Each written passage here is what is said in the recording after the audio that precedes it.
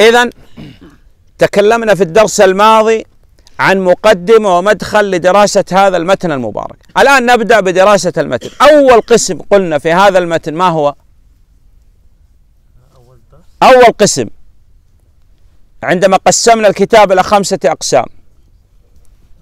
المسائل الأربع جمعت في سورة العصر. إذا هذا الدرس الأول. إذا لابد أولا أن نتعلم. لا يمكن أن نعمل بلا علم ولا يمكن أن نتعلم ولا نعمل. أول شيء تتعلم تعلمت تعمل حتى يجتمع العلم مع العمل. وعالم بعلمه لم يعمل معذب من قبل عباد الوثن. أول من تسعر بهم النار نسأل العافية والسلامة. ثلاثة منهم عالم تعلم العلم ولم يعمل به.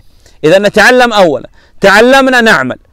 عملنا لابد أن ندعو بهذا الذي تعلمناه وعملنا به. ثم نصبر.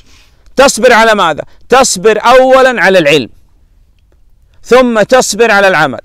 ثم تصبر على الدعوة. تصنع هذا في الدنيا بإذن الله تجيب عن أسئلة القبر.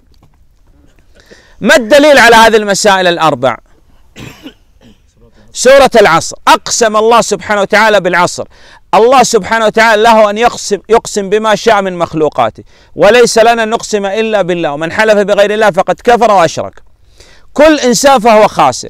واستثنى من الخاسرين الذين آمنوا علم وعملوا الصالحات عمل وتواصوا بالحق دعوة وتواصوا بالصبر صبر. قال الشافعي رحمه الله لو ما أنزل الله حجة على خلقه إلا هذه السورة لكفتهم. ليس معنى هذا أن الإمام الشافعي لا يريد نزول القرآن. لا يقول هذه السورة تكفي في قيام الحجة على الخلق فما بالنا بباقي سور القرآن. وكل إنسان سواء مسلم أو كافر يريد الربح والخسارة. الربح. إذا من أراد الربح لابد أن يأتي بهذه المسائل الأربعة. العلماء رحمهم الله تعالى قسموا الصبر إلى ثلاثة أقسام.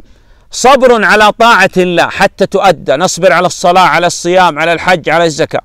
الثاني الصبر عن معصية الله حتى تجتنب.